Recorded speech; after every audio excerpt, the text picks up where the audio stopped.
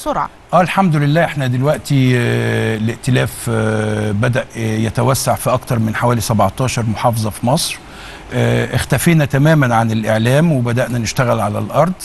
بدأنا نتواصل مع النقابات العمالية سواء آه، في الاتحاد العام آه، لعمال مصر. أو النقابات المستقلة. تمام. آه، الائتلاف يمكن من خلال لجنة العمال آه، نجح نجاح كبير جدا في تأليف القلوب ما بين النقابات المستقلة والنقابات ال- ال- العمالية. آه فعلا. وده يمكن مرحلة مهمة جدا لأن استقرار الحركة العمالية في مصر وإعادة صياغتها ورسمها مرة تانية آه، ده هيعود بالفايدة لصالح الاستثمارات آه، لمصر وخصوصا إن إحنا داخلين على مرحلة اقتصادية مهمة جدا.